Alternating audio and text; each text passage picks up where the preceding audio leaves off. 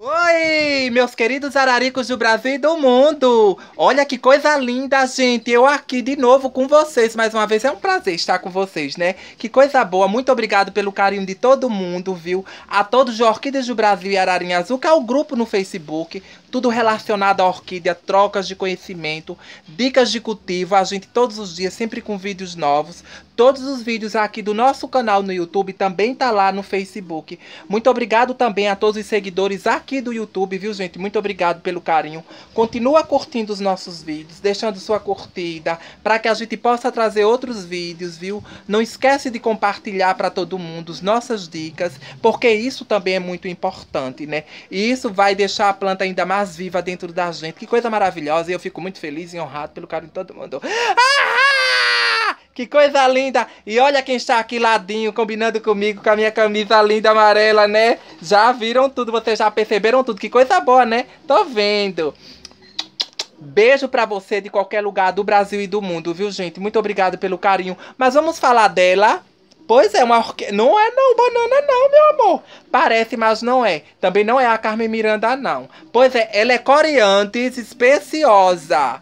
Pois é, foi um presente que eu ganhei o ano passado, lembra? Falei do presente e já é a terceira floração dela. Ela é uma planta muito misteriosa porque ela flora nos tons mas que salmão. A mesma planta, ela tem várias florações. Já floriu aqui. Tá? Ah! Que luxo! Ela já floriu salmão, já floriu mais tom vinho, floriu amarelo e agora tá voltando a florir de novo. Que é a terceira floração. Ela é linda, é surpreendente. Ela coloca uma haste bem grande para baixo. Eu que dei um jeitinho de enganchar para que vocês vissem bem as flores. Maravilhosa. Ela é coriantes especiosa, ela é nordestina brasileira genuinamente brasileira do Brasil, viu? Porque tem gente pegando nossa planta, levando para fora do país, não pode, viu? Gringo falar dessa planta como se fosse dele. Nananina, nana. Ela é brasileira, do Nordeste bra brasileiro, compreende pouco mais de 42 espécies, viu, gente? São maravilhosas.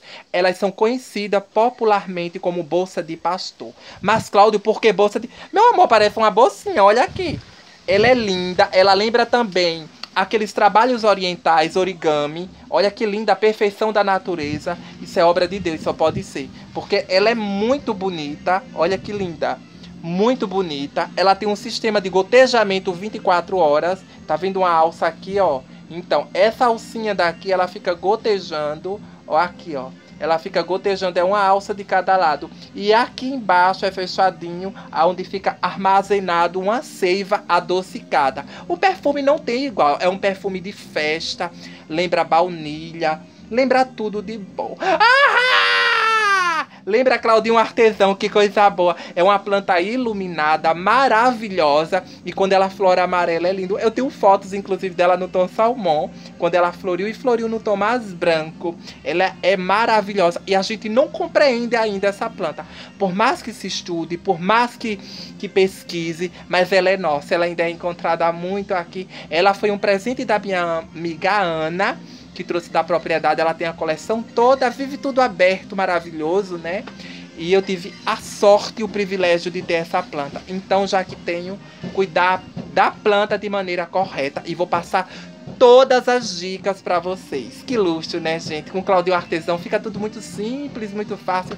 Não aprende quem não quer. Ah! E começando o carnaval, a bagunça no mundo, né? Gente, carnaval começando, viu? Se beber, não dirige, usar preservativo, cuidado, nada de briga, nada de violência, tudo na paz, viu? Porque a vida vale mais que tudo isso. Pois é, viu? Olha ritmo de carnaval. Ah, que coisa linda! Mas é bom, o Brasil é isso. O Brasil é carnaval, é essa alegria, essa festa e viva o Brasil! Viva os araricos do Brasil! Viva o Brasil, viva o mundo, né, gente? Que coisa boa! Viva os araricos do mundo, viva o canal Claudinho Arte Ofício, viu?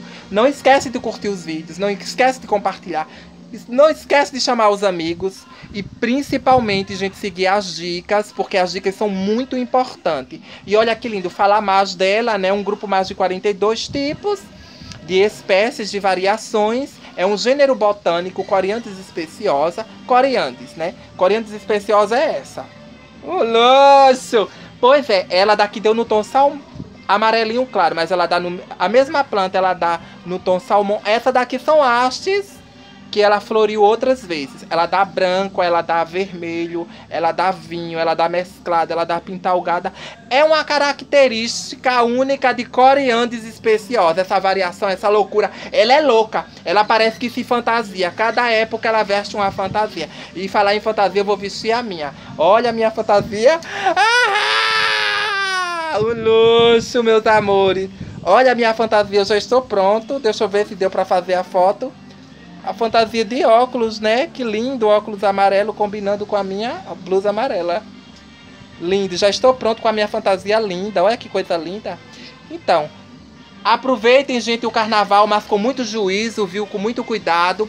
Para molhar essa planta é banhos praticamente que diário com mangueira. Ela é muito cheirosa, maravilhosa. Tem um sistema de gotejamento que fica pingando. Isso é para atrair o polinizador da planta. Ela é muito inteligente, ela é maravilhosa. Tinha que ser brasileira, né? Ô povo maravilhoso, ô Brasil, ô país. Todo mundo quer o Brasil. Por quê, meu amor?